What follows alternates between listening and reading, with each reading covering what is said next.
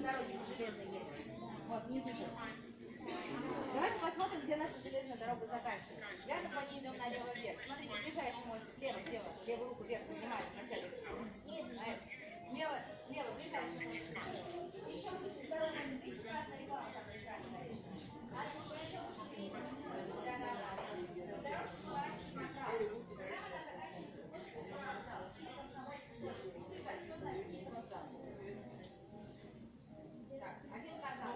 carne fugida.